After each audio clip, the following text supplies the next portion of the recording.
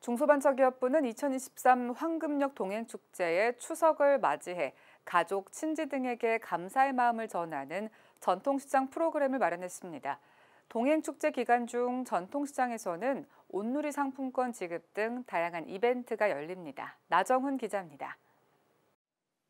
전국 1,800여 개 전통시장과 상점가가 21일부터 27일까지 2023 황금역 동행축제에 참여합니다.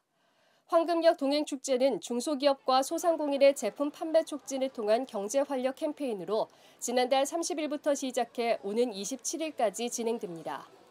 중소벤처기업부는 황금역 동행축제 추석 명절을 맞아 가족, 친지 등에게 감사의 마음을 전하는 전통시장 프로그램을 준비했습니다.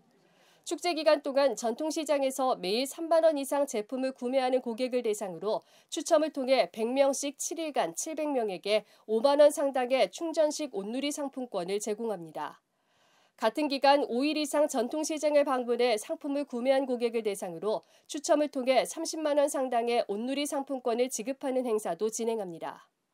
또 추석을 맞아 전통시장에서 누적 15만 원 이상 상품을 구매한 고객을 대상으로 1등에게 50만 원 상당의 충전식 온누리 상품권을 경품으로 지급하는 이벤트도 벌입니다. 예스티비 뉴스 나정훈입니다.